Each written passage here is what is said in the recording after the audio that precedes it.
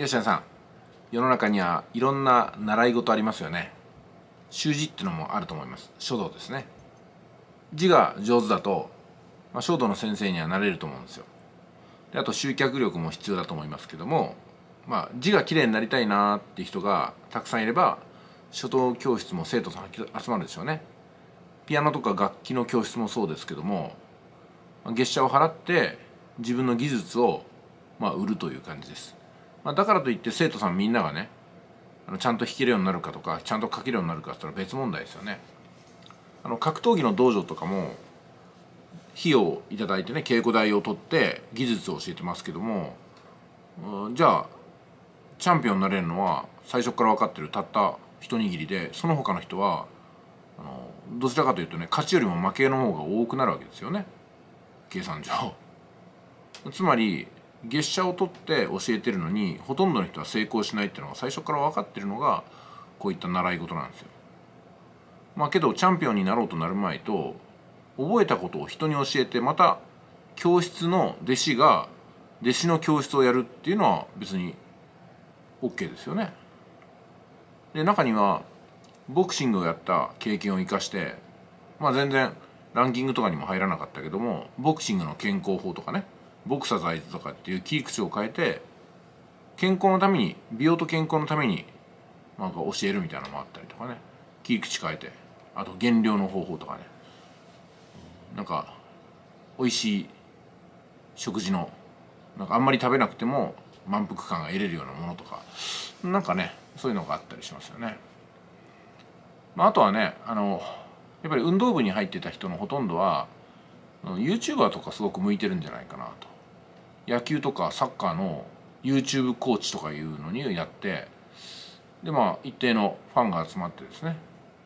まあリフティング1,000回やってみたみたいなやつとかね、まあ有名になっていくとか。あとはなんかちょっと切り口変えると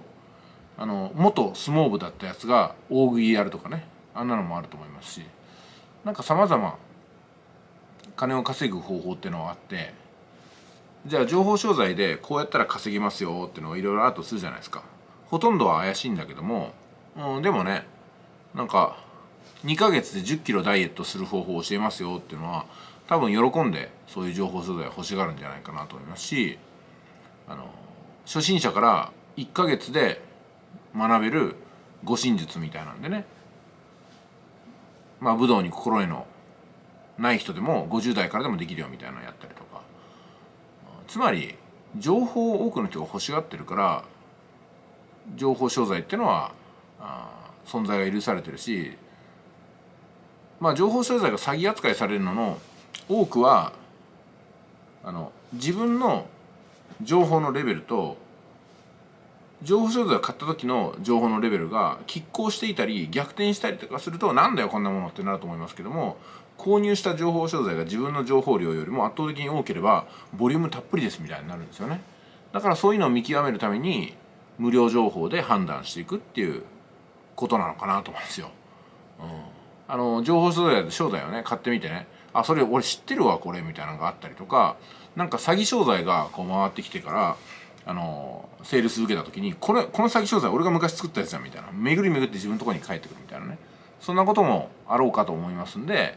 徐々にインチキな商材っていうのは鳴りを潜めていってね。あの有名なフェイスブックに書き込んでる川本さんみたいなね。いつもいいねコメントありがとうございますっていうのも結局2年ぐらいでいなくなって。でもリストだけ集めてね。すごいですよねあの人も、うん、あんな方法があったりとか。まあさまざま稼ぐ方法は山ほどあって稼ぐ方法が怪しいと思う人は相変わらず稼げてないし稼ぐ方法の中に宝があると思った人はいつか稼げるようになるしみたいなそんなオチなんじゃないかなと思いますけどいかがでしょうか。じゃあ。